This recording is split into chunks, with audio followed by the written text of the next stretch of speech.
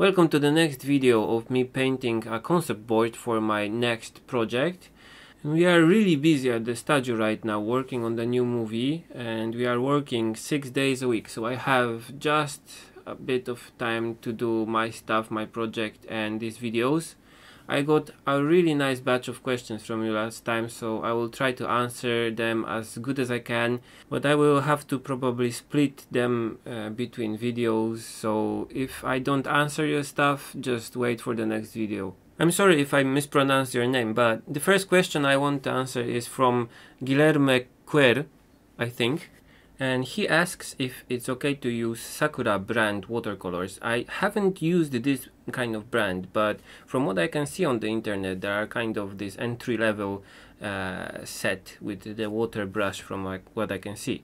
I haven't used this brand, so I will tell you what I think generally about buying watercolors. Um, I would say that it's really better to use even a few of good brand artist quality watercolors than like a cheap set. Because basically mm, the good watercolors are uh, have better pigments have brighter better colors they mix together better and also uh, have good light fastness. So if you put your um, pictures uh, on a wall somewhere they won't fade so fast.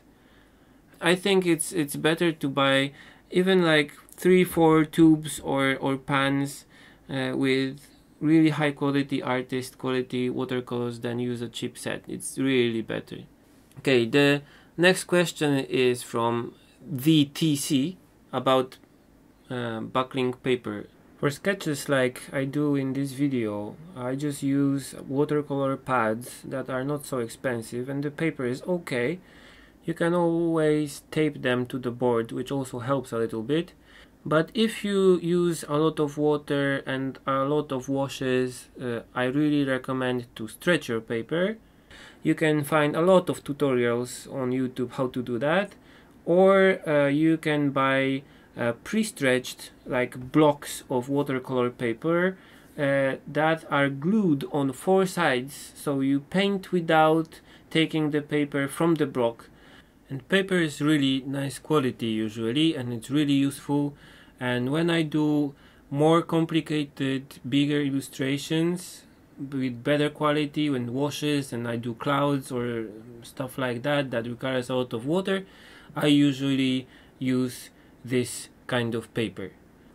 Okay here you can see the finished concept art and I will try to answer more questions in the next videos. I have them all memorized in a nice file so yeah stay tuned. There are more videos like this on my website and on my channel so uh, subscribe. Bye.